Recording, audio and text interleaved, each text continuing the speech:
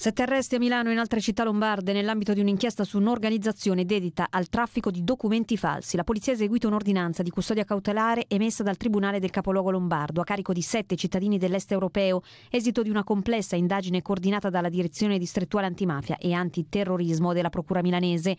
L'operazione nasce da accertamenti avviati a seguito di un'operazione antiterrorismo delle autorità austriache nel dicembre scorso su una possibile pianificazione di attentati in Europa e ha permesso di evidenziare collegamenti con circuiti del terrorismo internazionale di matrice religiosa e in particolare con l'autore dell'attentato nel centro storico di Vienna del 2 novembre scorso. L'informazione di La Press è sempre a casa tua. Metti like a questa news e iscriviti al canale.